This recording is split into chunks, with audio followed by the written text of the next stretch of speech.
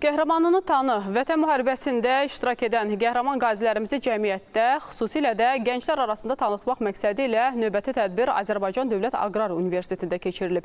Böyük Qayıdış Gənclər Təşkilatının Gənclərin İnkişaf və Karyera Mərkəzinin tərəfdaşlığı ilə keçirilən görüşdə vətən müharibəsində qazanılan qələbədən, əskər və zabitlərin döyüş əzmindən danışılıb. Bildirilib ki, zəfərin qazanılmasında hərbi qulluqçuların döyüş qabiliyyəti və ruh yüksəkliyi mühüm rol oynayıb. Bunun nəticəsi olaraq torpaqlarımız 30 illik işğaldan azad olundu. İndi o torpaqlarda üç rəngli bayrağımız dalğalanır.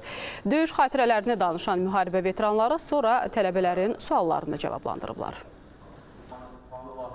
Layihənin əsas məqsədi vətən müharibəsində döyüşmüş qəhrəman qazilərimizi cəmiyyətdə xüsusilə gənclər arasında tanıdılmasından ibarətdir və tədbir boyu qəhrəman qazilərimiz öz döyüş xatirələrini gənclərlə bölüşür, gənclərin verdikləri sualları sevə-sevə cavablandırırlar.